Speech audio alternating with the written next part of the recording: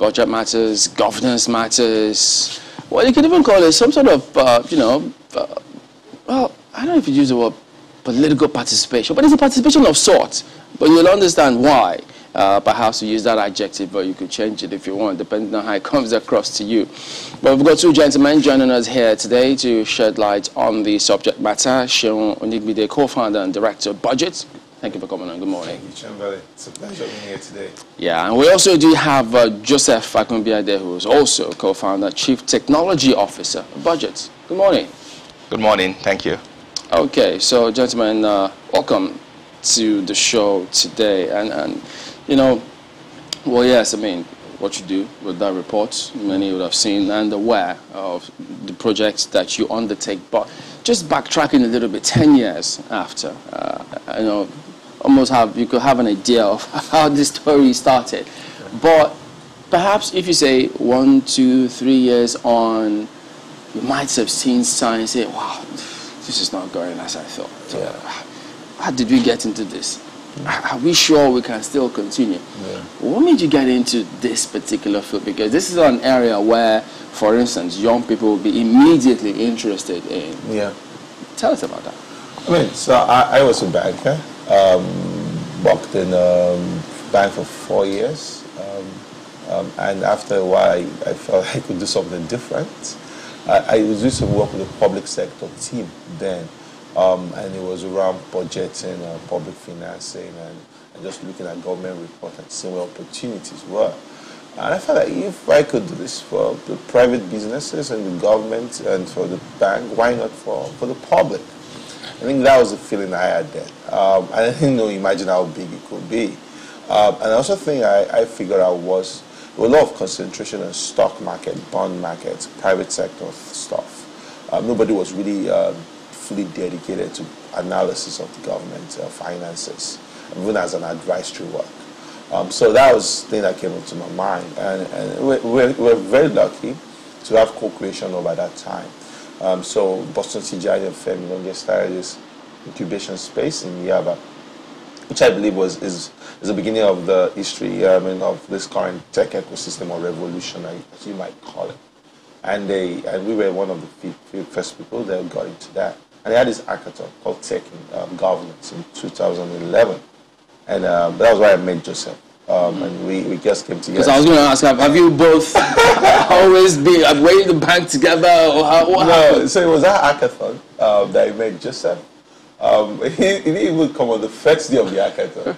and there was a guy who came on the first day and he gave us a glamorous picture of what he would do the next day. And he never showed up again. well, yeah. well, well, Joseph, what kind of eyes did the Eskimo sell to you to make you tag along?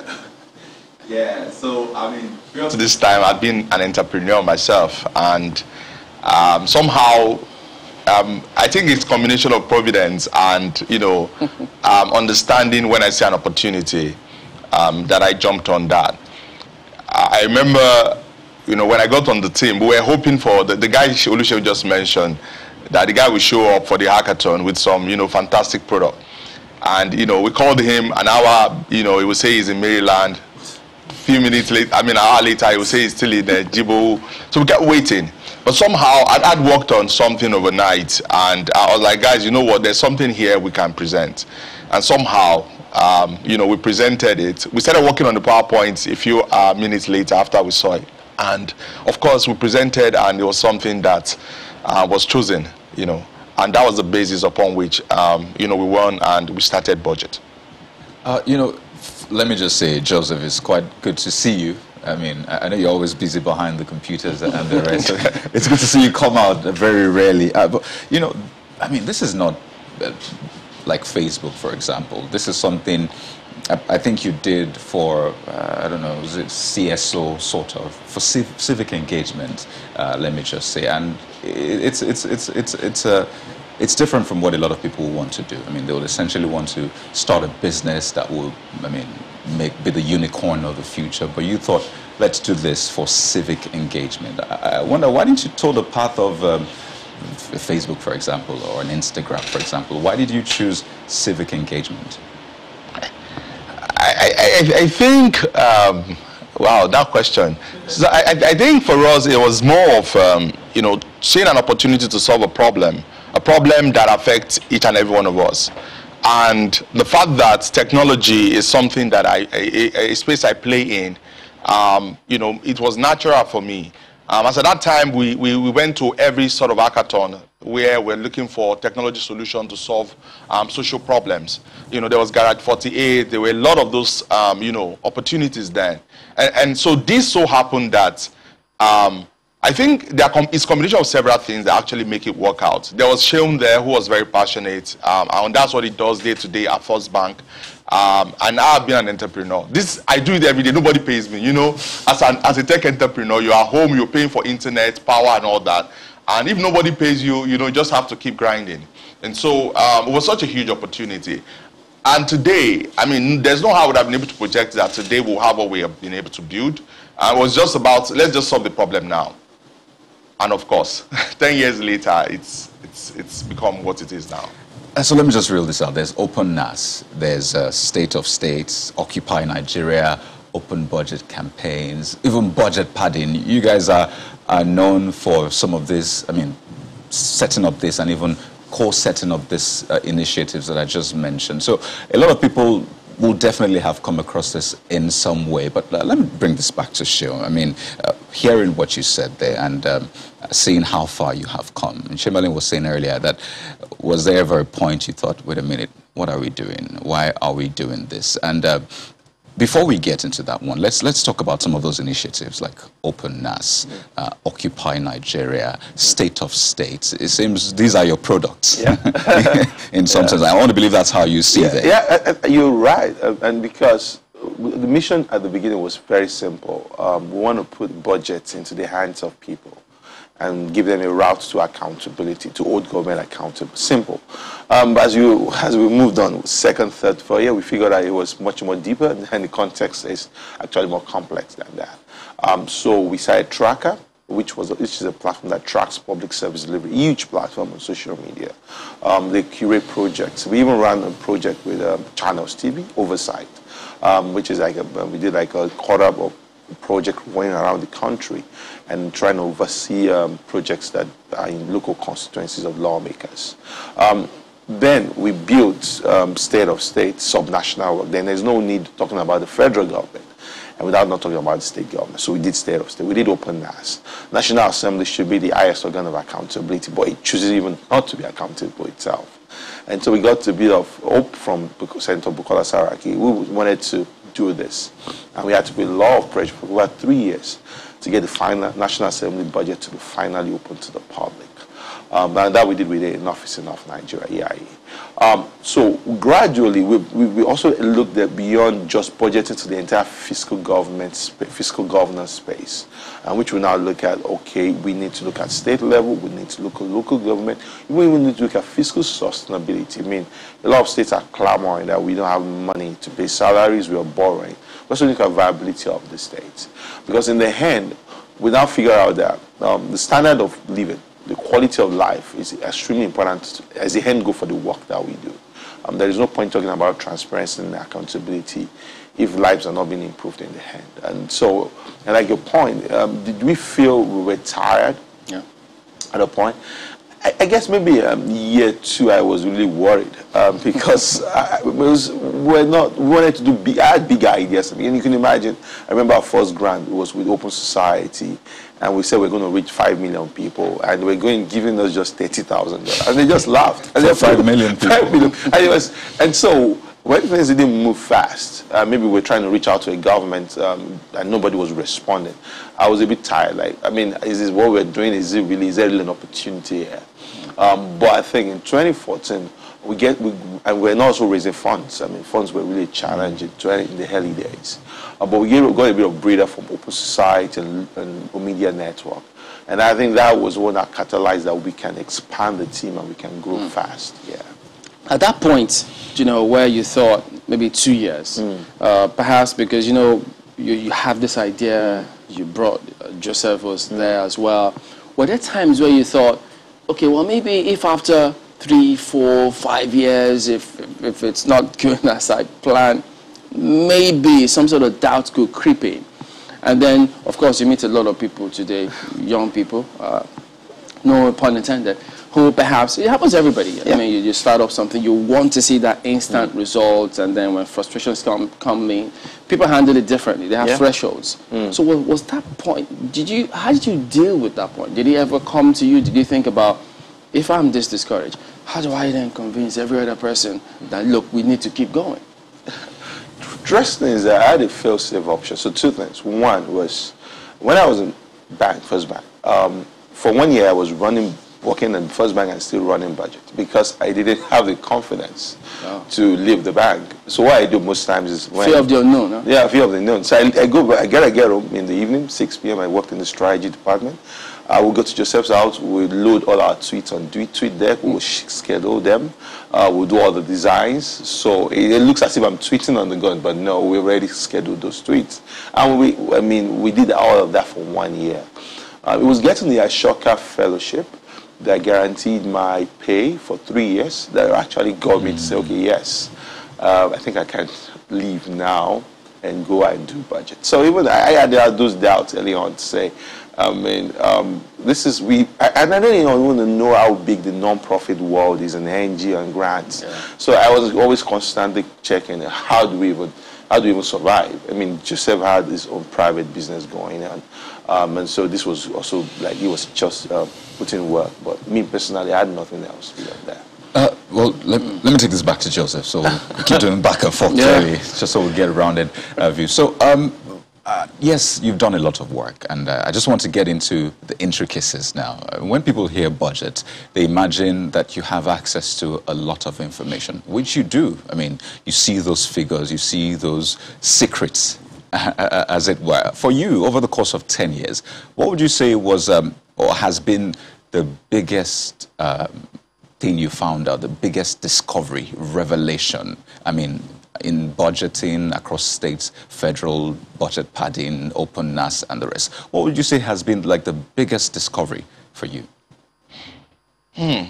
Um, perhaps mine might be different from what Oluseun might have seen. So I'll bring you back to him soon. um, I think first thing was to realize how the budgeting process happens, how, um, you know, when we started looking out for um, we, we, first, when, when we noticed that there were a lot of budget items being repeated year in, year out, you know, and that drew attention to asking questions around how do they, are the budget, um, the budget itself, is it prepared, you know, and we started asking questions. Um, I remember one of the first opportunity we had then was to work with the, um, you know, the legislators on um, establishing the NABRO office, National Assembly Budget Research Office. And, and each time the executive brings the budget to, to the House to, you know, to pass it, I mean, to defend the, the budget, um, was always a very short time um, that they have to go through each and every one of the documents. So the, um, under the FID FEPAR project, we were brought in to, um, you know, to help them develop a mapping software. And during that process, we realized a lot of items, um, a lot of things in the line, I mean, the budget line items. The same project. So last year, it would be construction of this road. And then this year, the same item will be repeated, and it will be called rehabilitation, um, you know, of the road. And part of what even spurred um, the creation of Tracka for us, because we now felt that let's even know what's going on. As at that time, we don't have um, information on actual if the actual budget item was funded, if um, why is it coming back again, and and so we wanted to know more. It, it you know spurred our curiosity. So I think that for us was one very big point um, in our in our work um, to see how to start asking that question of how are the I mean the budget itself prepared um, for uh, you know before it is presented. So uh, for him, it's repetition sorts in budgets. What is it for you? What was that biggest revelation? I, th I think I think it's more about interest, about how um, the budget is a product of, of private interest. Um, and you might look at it from different angles. The executive put certain items in the budget just because someone sees a contract opportunity in there, not because it benefits the public in a way. Um, so you get a community and you're tracking a solar lightning power system. And the community is telling you that our biggest need is a school or an health center. Or you get National Assembly. Um, when a boy goes to National Assembly, no, a road is 5 billion naira. and somehow the road becomes 3 billion naira, and the 2 billion naira is fragmented into 15 projects of maybe 100, 100 million naira each for an empowerment program. You know, those are kind of things that really makes us um, feel sad about the Nigerian project process. People don't think of the collective. Mm. Uh, there's always this, um, this is the vehicle for me to get my own stuff done. Mm. Uh, and we've seen that um, we've agitated and we know we have these frivolous items uh, document that we take when the executive does the budget, we take it to the to the national assembly. Say these items we think you should pay attention to it. I think the biggest win we had was in 2017 during the budget party that that blew up, and that got a lot of attention and everywhere. Most times it's been silently happening, and that's why you see roads you know, take 15 years. The, the Oyo Ogbomosho Ilorin Road has been on since year 2000. You know, the Abuja Benin Road has been, here, has been there for years, for almost a decade. Because over time, people, the, the federal government budget, if I start with that, is not purpose for what it is. It's fragmented around different lines. And now you now decide what, how, what goes into priority. And at the end of the day, you know, the executive still has enough power to say even if you put something in the budget, I would yeah. not fund it. But you end up at the end of the day, those, that's settled on partisan level. And say, oh, you, are, you we have to just do this because they are lawmakers, they are for people, and for things like that.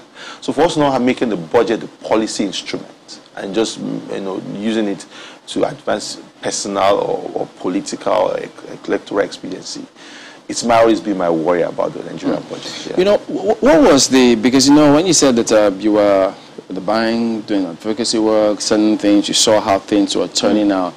At that point, correct me if I'm wrong, you know, you, you had access to those documents or those agencies provided mm. documents for you to work with. Mm. But at some other point, perhaps in this other case, when you went further. You had to go seek mm. yeah. those documents. Mm.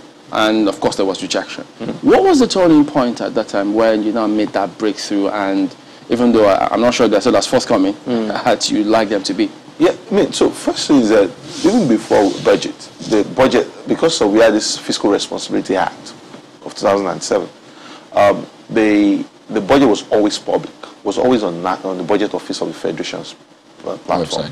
So it was there. I mean, no one was just interrogating it or engaging it as it should be, uh, or simplifying or bringing it to the mainstream.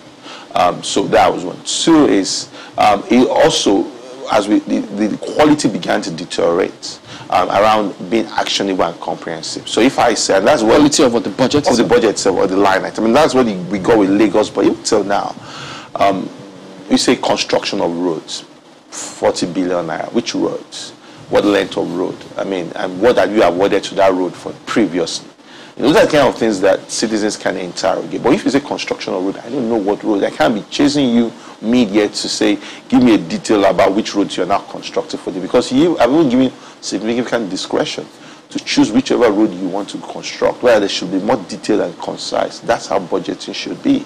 Um, and those are kind of things that we've seen over time that people, and now you have empowerment program in maybe it's a local local government, and you go there and say, okay, where this is a whole local government, where exactly is the empowerment program happening? You know, and those are the kind of things that we now see lawmakers and executive hiding under just not to provide that opportunity for people like us to further interrogate them. The, the worst of all is the constituency project of the National Assembly. Because out of 100, before, the constituency project were more about schools, roads, hospitals, and solar lights, and even some of them I could, dis- could be dysfunctional after a few times. But now it's all empowerment. Empowerment and empowerment, then you selectively choose people within the community, possibly people of partisan nature, and you appropriate uh, public resources to them in a very, very open manner. And no one has been able to say there should be rules around constituency project because it should be benefiting your constituency do, do, you think that that's a way of uh, perhaps somebody trying to shy away from the spotlight so you can easily trace where some funds might have gone to? Because if those rules are not there, it always gives you a lot of leeway to perhaps fritter things away. Yeah, I mean, I mean, I mean we've seen a lot. We've seen someone convert an IT center to his own private cyber cafe. I mean, we've seen someone put a ball inside his compound and say, "Oh, my compound is also part of the constituency." Oh boy! I mean, we've seen, you know, I mean, I mean, so many examples. I'm sure if you get a Tracka guy on board, he would, you would, you would, you would not leave this place. I mean, there's so many things you've seen about how we, we've seen construction of you know, mosques, churches. I mean, if you even if you go deep down into state budget, it gets much more ridiculous. Mm. Yeah. Uh, let me ask Joseph: uh, Has this stopped these frivolous uh, trends that you've seen in the past? I, I, don't know how many budgets you have scrutinized, but I mean, in recent times, uh, have you seen a reduction or perhaps a stop to all of this? Um, uh, not at all. Um, oh. While engagement has improved with states at a, you know, at a, like Oluseun mentioned, we've had more partnerships at subnational level. Um, we still, of course, um, see those frivolous items. I think now we engage more. We try to let them see some of these things. And, and you know, it still boils down to the fact that how is this budget um, prepared itself? Um, we think that if the, the entire process um, improves very well and um, it, it is more um, citizen-centered, which is one of the things we are pushing now, um, citizen guides to you know budgeting and you know getting citizens involved in the entire process. We believe that we'll begin to see a lot of those improvements. Um, for us, what we see is like, you know, you just lift a template. It's another time to budget. Let's just pick um, the old template and then let's put it together and, you know, present. So um, if that process changes, we believe that we begin to see that improvement. Frivolous item every year, you always say it. So you're uh, saying yes. 2021 budget, you still saw the trend? Yeah, I mean, we published a couple, um, you know, of those items. Um, you know, um, there's now this open treasury. Oluseun, you want to talk about open treasury? um, you know, um, where every spending that is done by the federal government also they publish every single spending. I know a lot of Nigerians don't know that um, that every single item, every time money is spent, they actually publish those things, and we see a lot of interesting, um, you know, data um, looking through um, some of those information on the Open Treasury platform. Mm. So. Uh, I'll, I'll allow Seun to talk about the, the open treasury, uh, the open treasury, open treasury platform. But just, I'm curious. I just want to get this out of the way. We've heard that when you fight corruption, corruption fights back, right? Has that happened for you? Yeah, we've had a bit of pushback. I mean, security.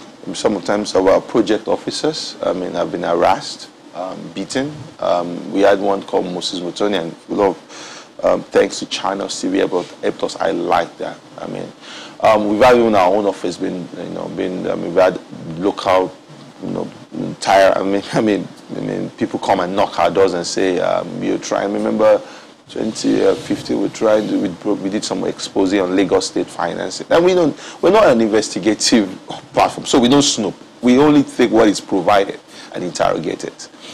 And someone said, "Oh, we're trying to stop the former governor of Lagos State from becoming a minister." They kind of you know, and you know, people just started gathering up from our office, started making a scene. Um, I mean, it's just us being very dispassionate about our work.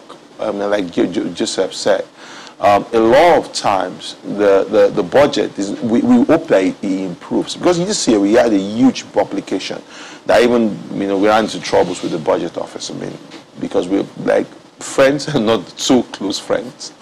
And we talked to them about some things is something is very wrong with this current budget. Um, because we see maybe a school of oceanography in Victoria Island installing solar lighting system in Bauchi. You know, I mean, we wondered, what is the business? And maybe, maybe they have a branch there. No, and it's because a lawmaker who's from Bauchi sits in the committee that oversees um, the budget of oceanography and wants to allocate. And that's why we need a more intense work on the National Assembly. Because we should scrutinize the budget and make sure that it fits into the purpose of Nigeria. National Assembly. Now, if at that point is where a lot of items are introduced, and are not even not, are not even scrutinized, then there's a bigger problem. And like you said, we've seen that pushback. And we are also not immune from the whole um, degradation of, of civic space in recent times and you know, the CAC came up with a huge uh, law, or I guess it's the CAMA. I mean, we're there. With, with, Twitter is our biggest outlet for conversation, and that's been um, cut off recently. And so, so we, we also. So how do you deal with that? The, the it, it being cut off. We, we, have kept it on. I mean, we're very clear with other CSO partners that respect what the government was doing. We were going to keep tweeting, and we never stopped tweeting maybe maybe interactions have not been as strong as they used to be, evidently, but we've kept that on. And we also have other channels. Um, and, and it's really true is we have a huge grassroots campaign to True Tracka. So we, we're also not limited to the digital space. We also have a lot of influence also on the grassroots. But has the frequency of someone in one committee then he throws in a budget mm. that is in a remote area. Has that frequency stopped in recent budgets you've seen over time? Yes, reduced, but it has not stopped. And I think it's something that the executive has to come from. That how do you put a budget, a budget line item that is not within the mandate of an institution? And we've seen the ministry, the, the, the um, I mean, NHRC um, inst inst installing um, uh, ICT equipment for a local community. That means the National Human Rights Commission budget. Installing an ICT because someone intend and because you say you want the budget to move past on time, you have to look at, take a higher way from all of that. And to think that we actually borrow to fund these budgets. Yeah, and that's why when you say you have a revenue problem, you don't just have a revenue problem. You also have an expenditure efficiency problem. It's mm. uh, uh, you know, I, just before we go to break quickly, I, I want to ask um, Joseph, because clearly the work you do demands a lot of funding. And uh, I mean, if you're torchlighting, as it were, corruption and the rest, mm. you clearly will not get funding from the people you are scrutinizing, as it were. And uh, quickly, in, in, a minute, if you could just touch on that, uh, the challenge of funding. I know you've gotten grants and the rest, but uh, in, in, a, in, a, bid to get funded, do you, do you get to, uh, do you have calls to compromise, perhaps say, okay, I'm going to fund you, but you know what, when the, the spotlight is coming to me, just dodge it, just skip me and the rest. Is that something that happens? So first of all, uh, I'd like to say we, we don't get funded by government. Uh, we've never been funded. We're very clear on that. Um, as a matter of fact, we don't receive um, you know, honorarium for even you know, doing training there. So that is first. Um, of course, our fund funding comes from uh, largely from international donors um, who yeah, somehow. I mean, we really have, we don't really have any compromise because it sounded like you're asking if there is a sort of um, donors that, um, no, we, we really have such donors. Most of our donors, we publish, uh, you know, who our donors are, uh, and we talk about, um, most of them are also clear on the kind of funding they provide. Um, you know, every year or every season of, of their, of their um, you know, grants. And so, yeah, we really have, we've really had such an experience.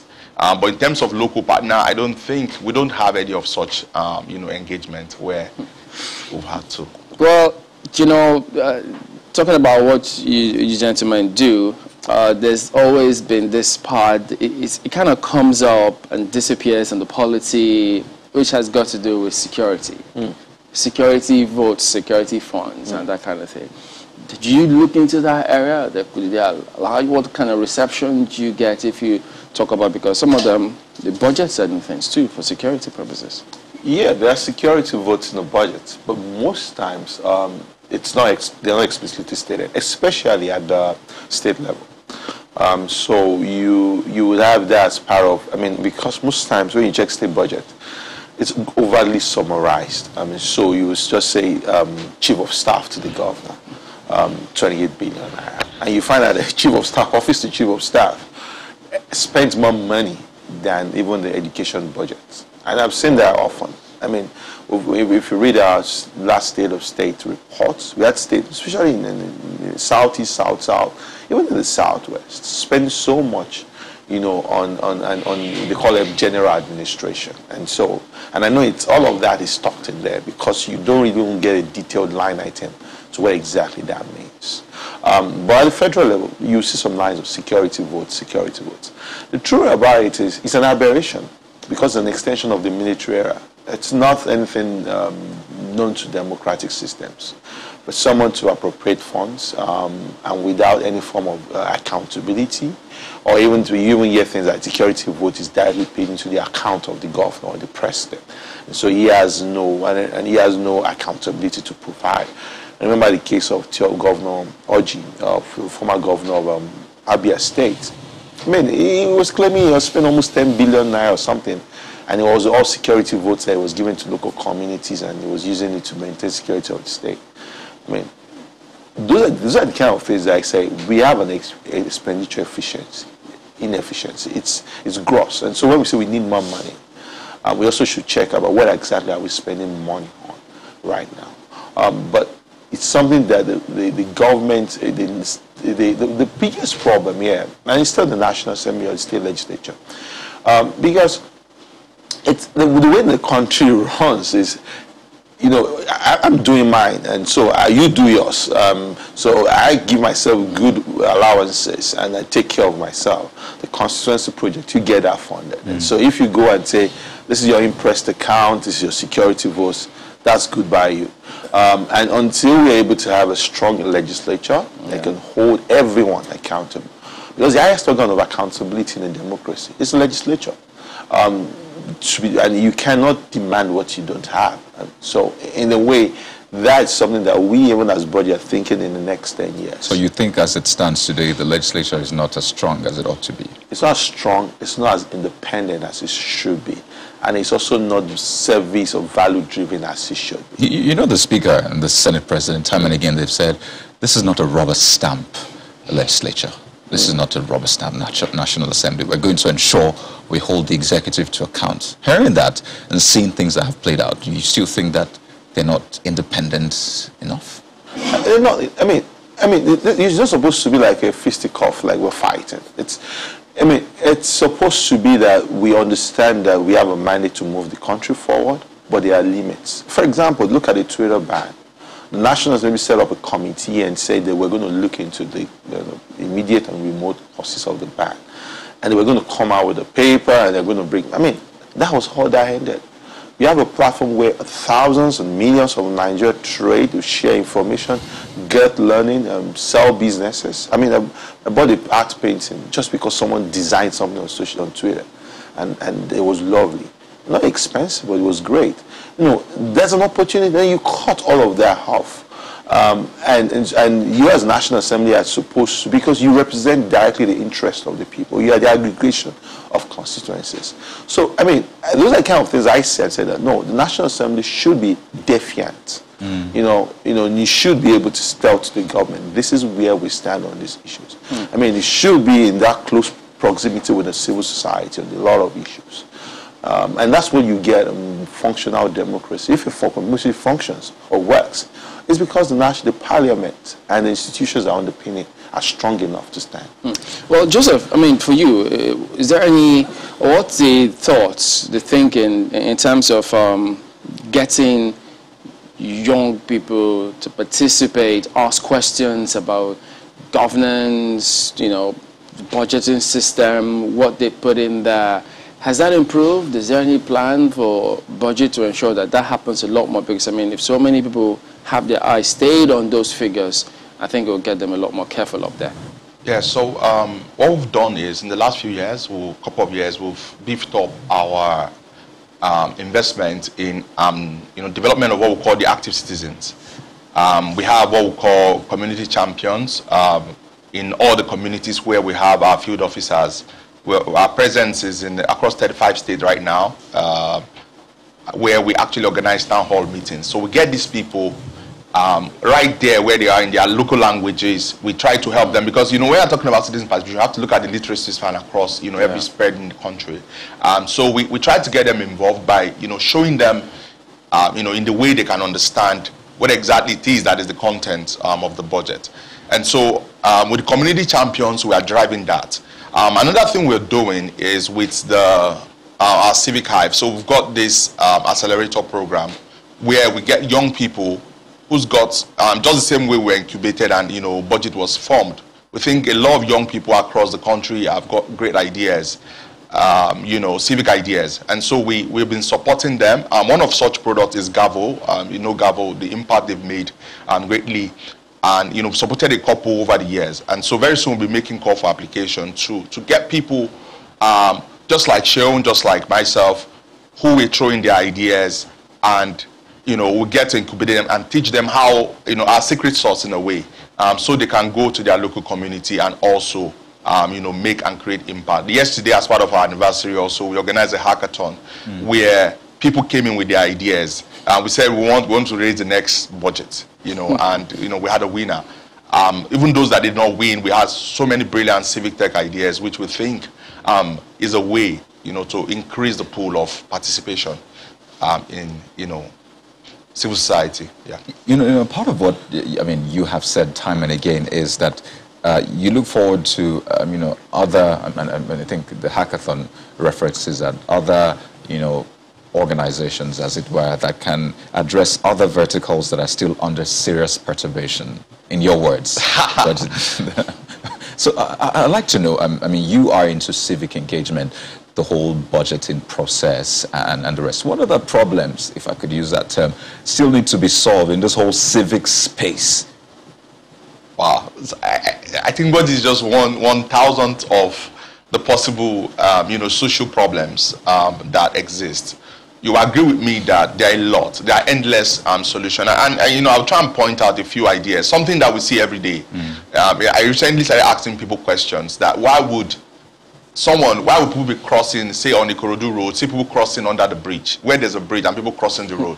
then government, um, you know, in trying to solve the problem, brought barbed wires and put it on the road. And few, few weeks or few days later, they pulled down the barbed wire.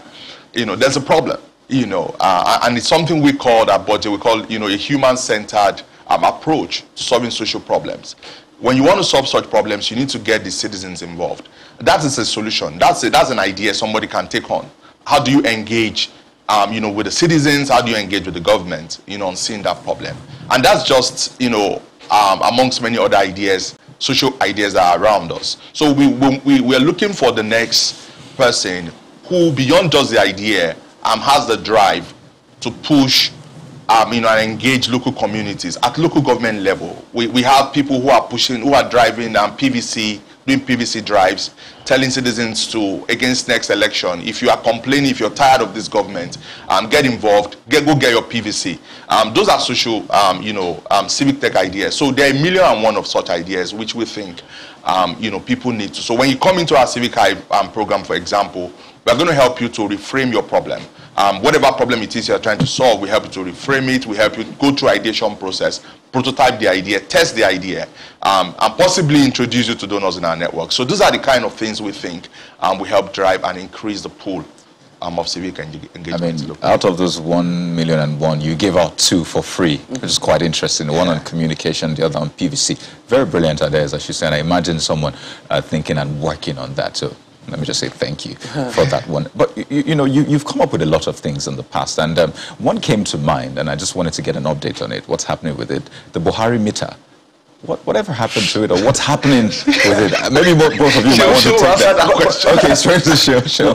So Buhari meter is not our product. We built it mm. for CDD, Center for Democracy and Development.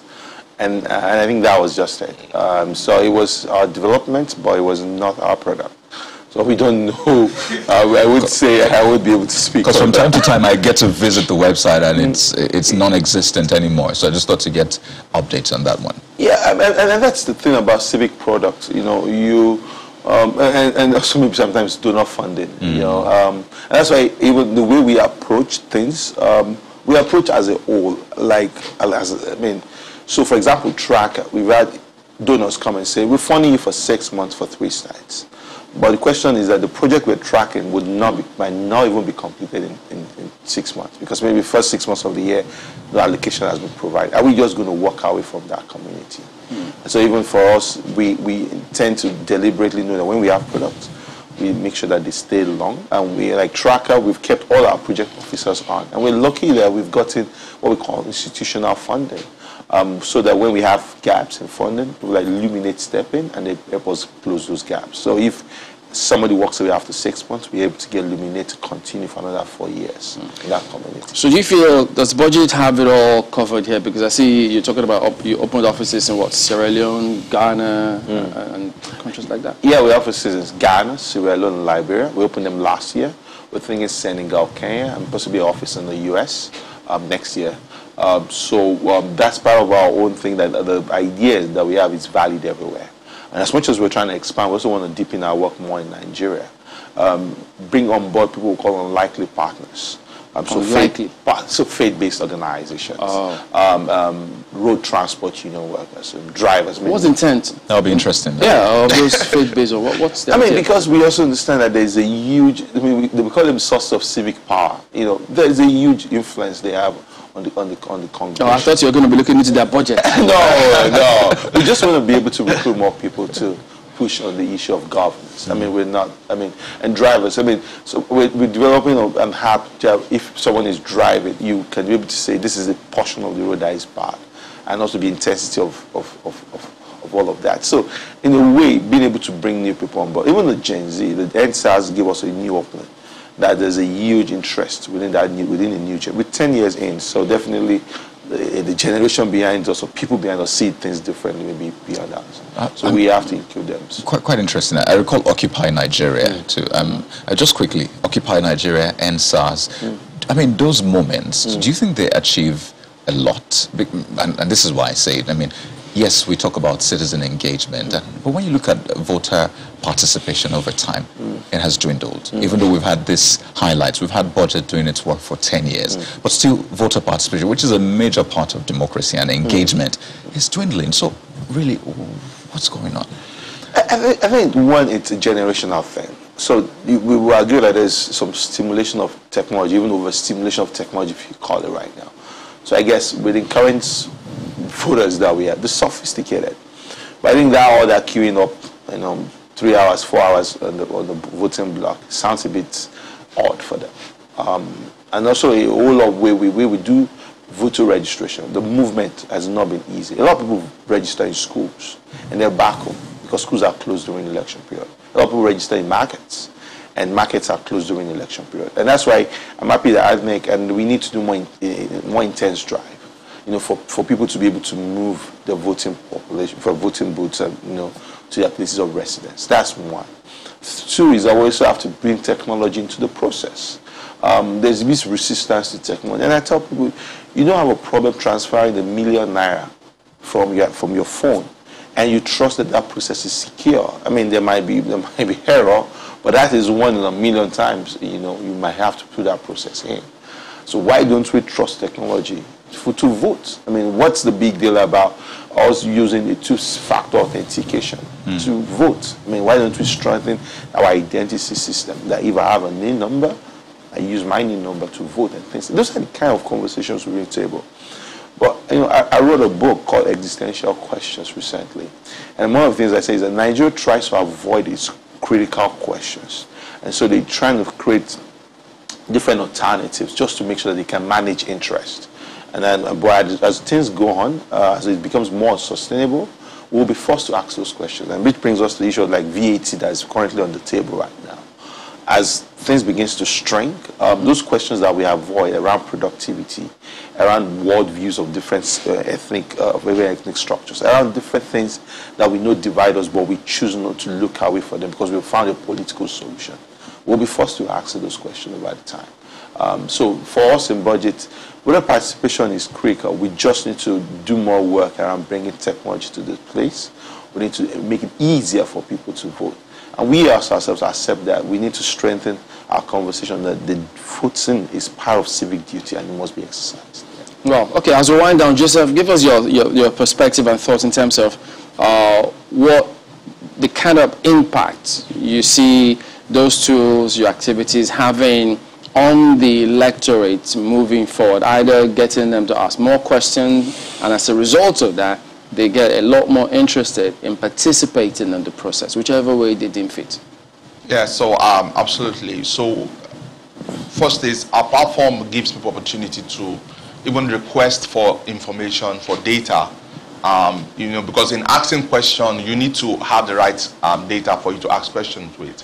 Um, so, so far, that, that, that we've achieved to a, a, large extent. I remember Reuben Abati under President Jonathan talking about that even Okada, Okada rider now can ask questions. Um, you know, they know the items in the budget. And that is something to a large extent um, that, was credit, that has been credited to BudgIT. And so we, we, we, we want to do more. We want to simplify this whole process more. We want to use more technology um, in the next couple of, in next three to five years, we'll be investing heavily in artificial intelligence, um, you know, in data science, to, you know, making the data serve people um, specifically based on their need. Um, you know, sometime last year we launched a product uh, called on me.yourbudget.com, which is a personalized data set um, for individuals. So you can now subscribe to say, you know what, I'm interested in data from this particular local government. I'm interested in data on this particular sector. You know, so you can then start using those data to ask, you know, based on your area of interest. So if you have people with various interests, um, even contractors, even, you know, um, being able to use the data to serve whatever purpose they have, then you have, you know, more citizens um, writing, asking the right questions at the point where it pains them, where it touches them, um, concerns them, yes. All right, then, gentlemen, uh, Joseph Agunbiade and Seun Onigbinde, thank you very much indeed for coming on. And, well, the next 10 years, we imagine it will be maybe times what? Two? Rose to the power of what? 10 in terms of what you've achieved. Well done, gentlemen, yeah. and we wish you all the best. Thank you. All right, well, back in a moment. Don't go away.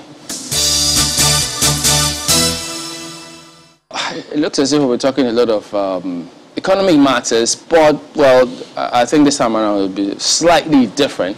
We've got Mr. Emmanuel Ijewere. He's a man of many caps. He's a, a former member of the National Economic Council. He has chaired uh, agri-business committees. He's worked with former minister of agri to come up with the agri transformation policy.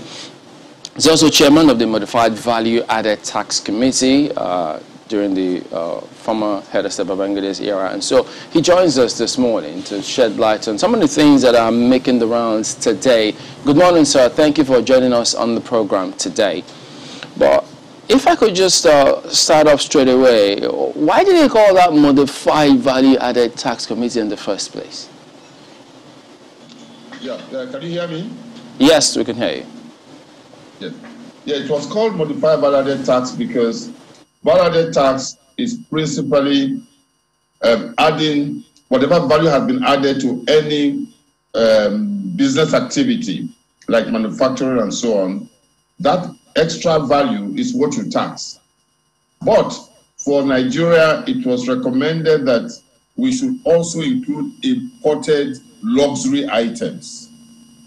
Because imported luxury items were not manufactured in Nigeria, it cannot really be said to be a value-added tax process. So that's why we call it modified value-added tax, to allow for this importation being taxed of luxury goods to discourage the importation of luxury goods to Nigeria. Well, there's been a lot of talk about the revenue base of the country, which has been dwindling, I mean, for a very long time. And I think that conversation may still go on for years to come if certain steps are not taken. And today uh, we talk about having to borrow to fund the budget, states having to borrow to ensure they progress. I mean, today there are reports that some governors say they had to borrow to pay salaries. So from having been around working with different government agencies and committees and groups to ensure that the economy improves, is it that we're helpless or this is how it has to be for a while? How long more what, are, what do we need to adjust to ensure that we boost the revenue base of the country? Is to allow for efficiency to be the basis of uh, progress. Right now, there's too much politics and less inter intellectual input. Most of the states of the Federation are capable of increasing their revenue base through internally generated revenue but because they have been spoiled over the years of going to Abuja and collecting money at the end of April every year uh, for spending, and also creates a situation where since the people are not the one contributing this money, it makes it a lot more difficult for uh, them to see a situation where whatever government spends or misuses, they have no say in it. But if you paid your taxes through value-added tax, through income tax or other taxes, you can challenge the government. And I think that that's one of the issues we're looking at. We have a lot more capacity at state level and at the federal level to collect a lot more taxes. Not through double taxation, because double taxation ends up with taxing the same people over and over and over again. But expanding the tax base, we don't have that in this country. And again, the number of expenditures that we go in for are absolutely responsible. A country like Nigeria, I, I, I hate to say this, but why would Britain, with its economy, have a head of state, the Queen, and the head of government, the prime minister, neither of them has a private plane with which they travel. But Nigeria, in our level of poverty, so it's a situation of we're creating problems for ourselves. and there's no need to look out there to see where the problems are coming from. Let us first of all believe in each other and say, let us tell each other the truth. Let us cut down. Let us cut down on the amount of expenditures that are irresponsibly being um, carried out. Thank you. Quite interesting to hear you say that most states are actually capable of being viable. I mean, raising IGR, just that they've been spoiled over time. And, you know, for a lot of people that have, you know, debated this in recent times, you know, they've come at different points, you know, from different perspectives. You reference the political perspective. But if we could just take everybody back to perhaps when this began, and, and, I think helping people understand the transition from sales to VAT, what exactly played out then, so people cannot better understand how we got here with a view to understanding how we can move forward. So if you could just help uh, our viewers understand how we even started this whole VAT process in the first place. Uh, first, it was a recommendation by the World Bank because they observed that a lot of the states were not really financially viable, but they could raise a lot of capital, a lot, of um, tax from their own basis because they have noticed that some states, some very progressive states, Lagos State will be mentioned here, had already sales, started sales tax. And with the sales tax, they were trying to raise entire revenue revenue to improve their own income. But it was not very efficient. And I'm going back to 1991 92, when the quality of people who were administering taxation at the state and federal level we are just civil servants who saw it as a job. Whereas taxation is a profession that should be taken very seriously. And they recommended, therefore, that Nigeria should replace sales tax with value added tax. They made this recommendation to President uh, Babangida's government, and they now, in turn, set up a committee and asked us to be the, a working group to come up and tell the government, first and foremost, whether value added tax is workable in Nigeria. It was a 28 man committee. We were given six months to do this, but in four months, we came up with the conclusion that value added tax is viable in Nigeria, but a number of things needed to be put in place. That then they now converted us into the modified value added tax committee. And we went to work, got examples from very many countries, especially developing countries, and we came up with a report we presented to the government. The salient point were these first and foremost, value tax was a replacement of sales tax. Sales tax was conceived and was seen by the states, and therefore that revenue was meant for the states.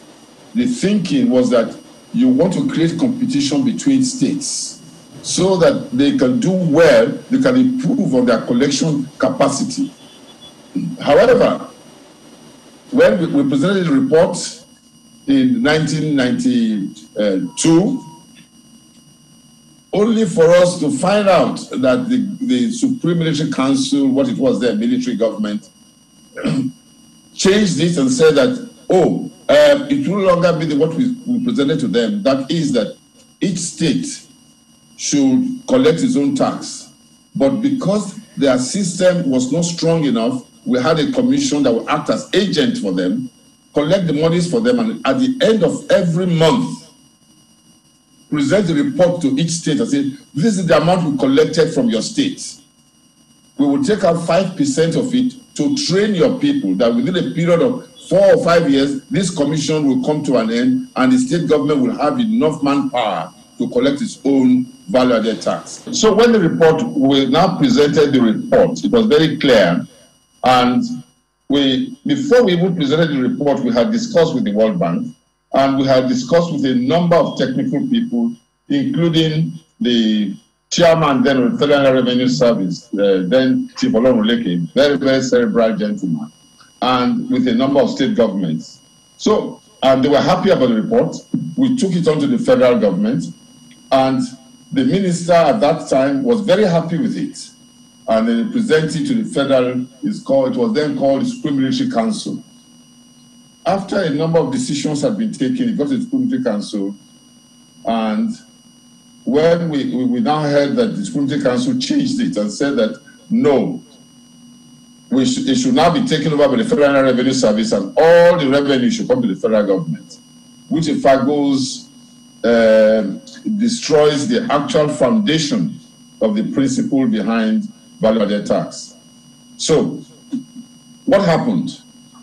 From investigation, we discovered that a number of military men in that uh, Supreme Military Council saw the figures we projected as revenue accruing to individual states going forward. If this commission were allowed to collect these monies with the state governments, and the amount was huge for them, and they said, why should this be left to the states? I remember we were running what can be called a unitary government at that time. So immediately they said, no, this money must not, the federal government must not lose this money. And so they decided that you should go to the value to the um, Federal Revenue Service, who at that time, at the beginning, were not really ready for it because the, all the things that we have put in there that required to be done were had not been implemented. So it, it was a situation. It was so bad that one of our members, one of the most prominent people, one of the best economists Nigeria has ever produced, the late uh, Professor Sam Aluko, said that he was going to carry a one-man placard and go to Abuja carrying his placard showing that uh, the, it was unfair on the states to do that. So the committee was set up by the federal government and it's, we submitted a report to the federal government there was little we could do under a military government. So that was the situation at the time. And on, coincidentally, it's now coming back to roost. What we warned Nigeria about is coming to that back to roost right now. In, in what way? How, do you mean? Because of the matters that have gone to court now? Yeah, because uh, we said the whole idea, the whole origin of value-added tax is to help boost state taxes so that they have a lot of expenditure to deal with. And it's easier to do this at the state level. And we also said, look, federal government, you can take the one that is coming from the ports for the imported goods, but whatever was, was being uh, uh, collected at the state level should remain in the state. That is what is being challenged right now. Each state should collect its own taxes and use it to develop its own state. That is where we say that was this, that was at the beginning the government, federal government accepted it, but when it got to that small group of uh, powerful people, they changed everything around without considering the consequences. You know, uh, one of the articles I had read, they were talking about, uh, you know, at that time when they had sales tax, there was no uniformity, so they had to see how they could unify some of these things and give it a proper shape. So are we not in danger of getting back to that kind of scenario if we don't handle things right now? Because something that if we decentralize, you might just face the same kind of scenario again. Uh, for me, things have changed considerably. The state internal revenue departments have become a lot more computer savvy. They have become better educated. They have well structured people including the Federal Revenue Service, all of them have improved. So what prevailed at that time that required the commission to do it on their behalf is no longer applicable today because the states have grown to a better position. However, doing this is a matter of reconciliation. If we, we cannot run away from the fundamental that value tax should be collected at the place where it was generated and used for the people from whom it was generated. That's basically what um, the point is here. It, is, it will not create any problem except there is failure or refusal to reconcile with each other. That because of what has happened, if our report was taken the way the way we presented it, it should have been a lot better, and we wouldn't have had this kind of problem. But having gone ahead with all these years, over 20 years of these problems, we need to sit down and then rejig. It's not difficult to rejig, but we must not run away from the fact that Nigeria is a federation. and each state should be able to take care of its own revenue and its own expenditures. So it's not, I'm not afraid of any serious issues. A reconciliation can always be done, and a better rejigging can be necessary to do this. So, uh, if I get you correctly, you, you, you, say that for this to work, I mean, if, if I mean, we don't know what will happen at the courts anyway, but you're saying that yes. essentially the FIRS will still need to work with states, or the states will also need to work together with other states for the reconciliation. Which of them? Absolutely, Absolutely. exactly. You've got it right. That's exactly what I'm saying. Everybody needs to come to the table and work together what is best for Nigeria and for the community. But, but what we've heard so far, I mean, governors have different perspectives. You hear the River State governor saying this, you hear the Ebonyi State government governor saying something else. So clearly, it appears as though everyone is still uh, sticking to their positions. But, you know, tax experts tell us that, you know, VAT has the input and output mechanism, as it were. And, and it's good we're speaking to you. You're not just, I mean, renowned tax experts. You also have the benefit yes. of what happened in previous years, I mean, from the scratch with this VAT. So regarding this, this new conversation, will the input and output uh, mechanism be a challenge, and how can that be resolved? It will be a challenge, but it will not be difficult to resolve. What this means is that bottom line is that is the final consumer that eventually bears the tax. But at various levels of the value chain, taxes are being charged. That's where the reconciliation issue comes in. And that's why computerization is very important to do this. It cannot be done manually. And it can work itself out. It's not difficult at all with the, today's uh, technological advancement of the world. So I do see as the input output VAT is an issue, but it can be resolved. And I, I, I, I see a situation where the quarrel will be where were the goods consumed? So you don't have a situation where you've charged VAT in a particular state, it goes to another state, another VAT is charged, and both parties are paying to the those states. Whereas in actual fact, VAT is the, the, the final consumer should bear the VAT, not the manufacturer or the seller of the goods. Uh, but in practical terms now, uh, because I, I, I, like to look into the future and see how this will work. See, in the debate, the build-up, the way some have pitched this conversation, uh, some say it's a region against the other, some say it's one party against the other. Seeing some of these colorations, which you say clearly does not help. The workability, uh, do you see the states working together in spite of you know, political considerations and the rest. Some thinking that, well, uh, a chain is only as strong as the weakest link. That, that's what the Ebonyi State governor said. And he thinks that, well, the federal government should still be the one collecting this. So if, I mean, who knows what the court will say. If this now happens, how do you see those states now working together still? What the Ebonyi State governor is saying is, what bringing it side by side with the report we gave to government in 1992, was this. Let the federal government collect on behalf of the states, but make the money available to the state to the quantum of what was collected in that state. Well, I can accept that. But again, you have a, a situation where this is so politically polarized right now that states should not be given that autonomy to determine what they discuss and what they agree. Yes, I agree that it's not possible for any state on its own to start collecting and then you create a situation where there will be double, triple, quadruple taxation of VAT. I agree with that. However, we must not run away from the principle that Nigeria is a federation. And the, the collecting money in a state and sharing with another state that could also now go back to where we have always been. That the states don't bother to uh, put effort in their internally generated revenue will come back to bear. But when you say to them, you will spend only what was collected in your state, then they will become a lot more serious about it. So I'm just simply saying here that it's possible to find a solution, but it must not be imposed.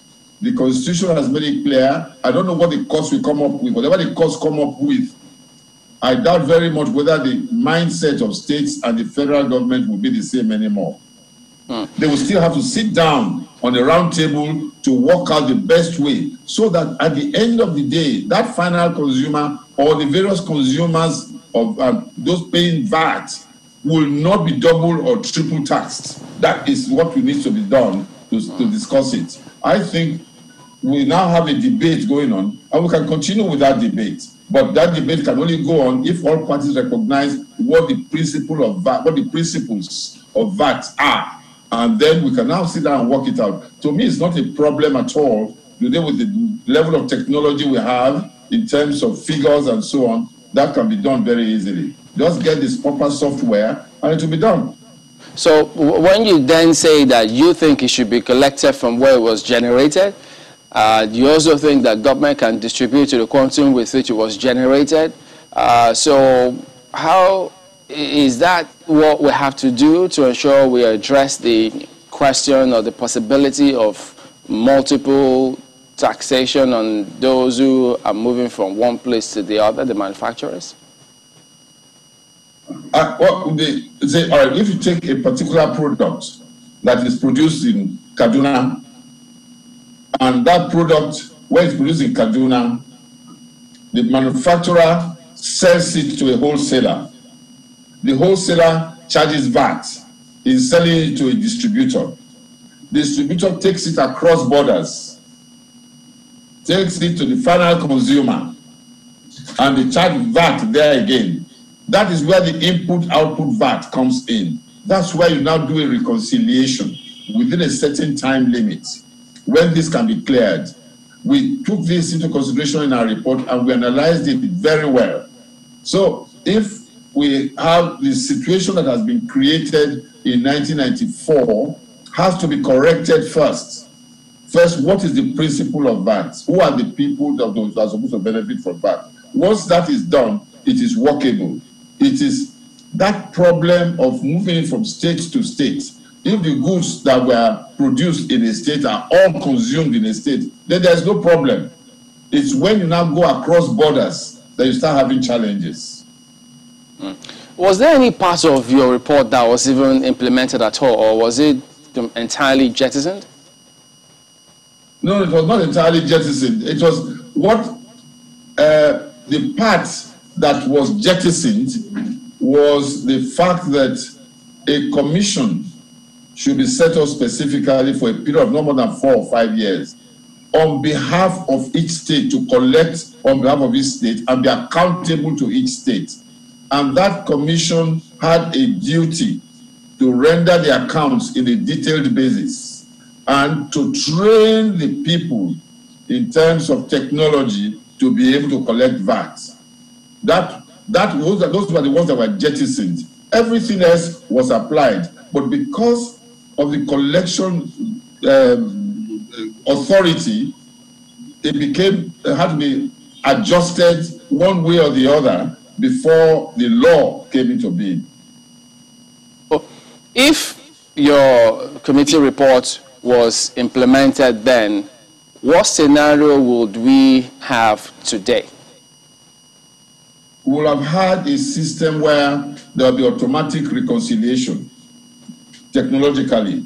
In other words, each state is running its own commission and they have a way of working with each other using a common software where the eventual we, we are able to identify the eventual eventual final consumer who should bear that tax. It is the state in which that final consumer res resides that will eventually benefit from it. All the other ones that were, were that were done before were only theoretical at, uh, uh, progression, which were meant to trace the the, the, the, the value chain through which that particular those particular goods have gone. So it is not a situation that you have. What is going to happen is that identify the final consumer, see all the other people that have now charged, and then create a reconciliation. The person, the place where it was not consumed, will not be entitled to the final income on that value added tax. Was this supposed to have any bearing with uh, payee whatsoever? Eventually, yes. The thinking was that, you see, uh, like I explained a number of times, our thinking at that time was that, like happened in Indonesia, in Thailand, and in Brazil, value added tax was used as a means of reducing the income tax of individuals. And it was a way of adjusting the social injustices that exist in the system. If you work hard, you get paid, you pay tax at a particular rate, usually the same rate, regardless of what effort you put into it. Whereas in value added tax, the poorer people paid less tax because they consumed less luxury goods. And so you can use this value added tax to reduce the level of payee that people are paying. Because the quantum of money is coming in from value added tax will grow. And it will be more for people who are consuming luxury goods to pay this money and reduce the pressure on the uh, poorer people in the society. Uh, as it stands now, we're looking to the courts, the Supreme Court, the Court of Appeal, to at least uh, let us help us know which way forward to solve this impasse. And clearly, there is a big issue. States like Rivers, Lagos. We've seen Ogun now recently, even following up yes. the law at the State Assembly, who say that, well, this is how it should be based on the Constitution. So if this swings the other way, the, the way of the FIRS, for example, uh, I, I, don't think, I don't know if that will have solved this, this whole challenge for you. What do you think about maybe a political solution? If it swings the other way, what do you think should follow? What should follow is let's sit down around the table. The law or the court does not take away from the rights. The right is that the final consumer pays tax so that his welfare can be looked after by the government that where he's resident. On the other hand, the federal government also has a case in the sense that you your right stops only when the other person's right starts. In other words, there are goods that go across borders. Therefore, the way out, whether the, whatever it, whatever happens in the court, it value tax will not be the same anymore. Assuming the court say, the Supreme Court says that the value added tax should still be collected at the federal level, the revenue. I assure you that there will be no end to it because what's involved here is a huge amount of money and states who have political, responsi political responsibility will not allow it to stay there. So the fighting will continue, the confusion will continue, and sabotaging may come into it. So the best approach is whichever one, I, I would prefer that both parties start sitting down now to start talking to each other, agreed some principles, and then we start working on that. This can go on for many, many years and create confusion because at the end of the day, the loser is the taxpayer. He does not know who to pay to. If I pay to, I end up paying to the, the, the Federal Revenue Service, the state government says pay to us as well that is the that, that is the victim. So to avoid and protect this victim from becoming a victim, let us sit down around a table. Intellectual discussion will be what we should come up with. That's what I'm really suggesting. And that report that came out, let's look at that and adjust it to fit the today Nigeria of today. That's the recommendation I will make. Let, the courts cannot bring this to an end mm. because you have woken in the minds of states. Mm. So I, I believe. States, pardon me. I, believe you're, you're, you're offering that report again to be reviewed and adapted to the realities of today.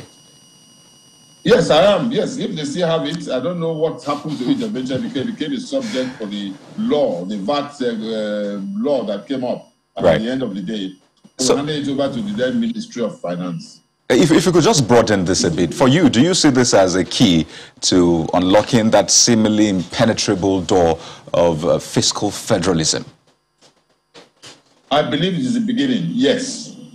And what happened, if it was, I believe that it was a civilian government we had in 1994, what happened now will never have happened. It will have been sorted out at that time, and the report will have accepted because all the states we visited were very much in support of it. Even the military governors in the states saw it as a, place where they could earn income to increase their own internal generated revenue. I believe that it can be sorted out and can be sorted out easily. The courts cannot solve it. All right. Uh, the legislators that are coming up now, they need to understand what VAT is. It's not as easy as I've seen some of the laws that have been that have been now been passed. Some of them are not realistic. But nevertheless, when we come together, we can amend those laws to things that will work for Nigeria so that the final taxpayer does not become a victim of the fight between the two elephants. Which of the laws are not realistic? The one by the states or the one uh, operated at the federal level? Some of the laws that I've seen, no, no, at, mainly at, at, the, at, the, at the state level, many state legislations came up not remembering the fact that goods move from state to state. You can only make a law for your own state. You cannot make a law that affects another state. Yeah. That's one. The other one, you have the modified issue of it. Goods are imported into Nigeria. Regardless of where that port is, is still a federal revenue. So both the Federal Revenue Service and the State Internal Revenue Service need to sit down together, bring them together and say to them, let's work in a manner that suits the Nigerian taxpayer so you don't overburden him. So, uh, uh, just to be clear, you, was it a good idea for the states, uh, Rivers, Lagos, to have followed with that law that we saw recently, the VAT law, that is? Well, I think first it was triggered off by the judgment in Port Harcourt, and they now they have virtually accepted as a military uh, legacy, but now the legal angle has been brought to it and they have seen and tasted it. They've even done the calculation. If you look at newspapers, the amount of money that are collected in the number of states and what quantity, what quantum of that money comes back to them. That has now triggered that off. I assure you, they will not keep quiet. There are people who not want them to keep quiet. But the laws they have made now, in some cases, do not show the reality of how much money should eventually come to them. Because the fact that goods are manufactured in your state does not mean that the value added tax is payable to your state. So those are the, uh, the reconciliations I'm talking about. Let everybody come together and understand what the rules of value added tax is, what the bases are. That is what I'm actually saying here. All right, uh, Mr. Emmanuel Ijewere, former chairman, Modified Value Added Tax Committee, former member, National Economic Council, and a chartered accountant. Thank you very much indeed for your time this morning. Thank you. Let's get some emails. Oh, yes. Uh, quite an interesting conversation. And as you'd expect, we have quite interesting messages. Uh, let's see. Which one do we start with now? Uh, let's start with this mail from Ejike Eze. Let's see that one. This one is on VAT collection debate. Saying relics of military rule continue to haunt us, even in the implementation of VAT. Goes on to say that if there is anything we should be thankful for, it is that we now have a democracy, no matter how dysfunctional it is. The journey to true federalism is gradual, but sure. Uh, Timi Afolabi says, VAT collection is simply a unitary government practice. It's against the principle of true federalism. But permit me to ask where the interest of the masses is in all these noise. Where are the projects to show in the lives of the masses based on the revenues collected by the states or federal government? Going forward, accountability for our revenues must be made compulsory by operators of the system. Festus Akimboyewa on governance and information sharing says, kudos to BudgIT for holding government accountable and offering hope to Nigerians. Government at all levels will be more successful if they see groups like BudgIT as partners and not foes. I recall the Minister of yeah. State for Budget, National Planning saying that well, if, you, if, if we don't like you or if, if you're an enemy, we're not going to open our books to you. So this is in light of that.